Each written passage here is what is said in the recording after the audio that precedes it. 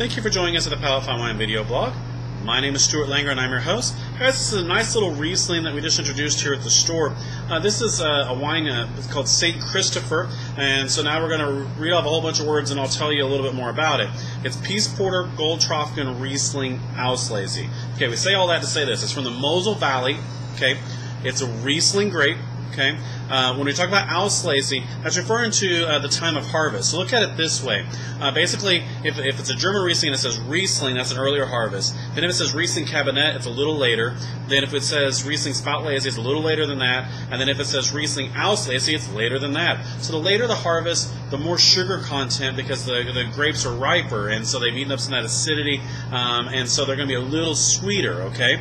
Um, now this is a Piesporter, so we've all heard of Piesporters before. So look at Piesporter this way. Piesport is a, a city area, and so look at Piesport like this, and then if it says Goldtropfen, it's a section inside of that, okay? And so um, it's a it's a specific area inside uh, Mosel, Pies Porter, Goldtropfen. All right, um, so it's a really pleasant little Riesling, and surprisingly, I get people in here all the time that tell me Rieslings are too sweet, they have too much sugar, um, and they really don't. You know, uh, they, they, say I hate Rieslings. When I pour more Riesling, I'm like, oh wow, this is really good. You know, it has some acidity, things like that.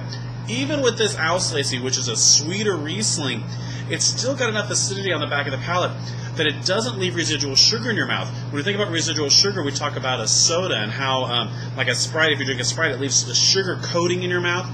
Well, this Riesling's not going to do that because it has enough acidity to kind of, you know, give it a little bit of crispness, a little bit of a clean finish. Definitely getting a little melon on the nose, um, honeydew melon.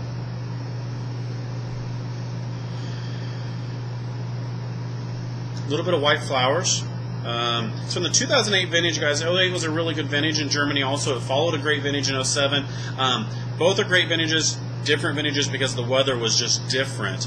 Um, the 08 don't have quite as much of this tart acidity. It's a little lighter and a little easier to drink young. Yeah, definitely a little melon on the nose.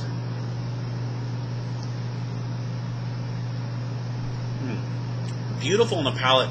It just wraps the front of your tongue with uh, uh, this little uh, sweet green apple kind of flavor to it. Um, but then on the back of the palate, it's got some crispness. I mean, it finishes dry, um, uh, not not dry like oaky dry, but because of the acidity, um, it, it, doesn't it doesn't coat your you know it doesn't leave a sugar coating in your mouth. It actually uh, is kind of crisp. This would be a perfect little wine with some sushi or uh, some spicy Asian food. Um, light spicy Mexican food, you know, if you're doing like a fish taco or something like that, it would actually be kind of pleasant. Maybe a little cantaloupe on the nose.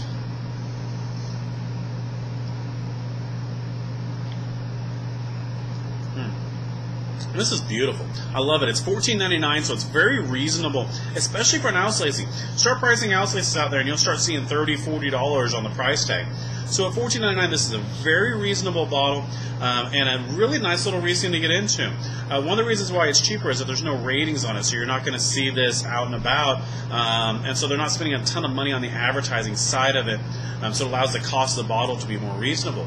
Uh, so this is St. Christopher Piesporter Goldtropfen Riesling Auslese. It's $14.99 a bottle from the 2008 vintage.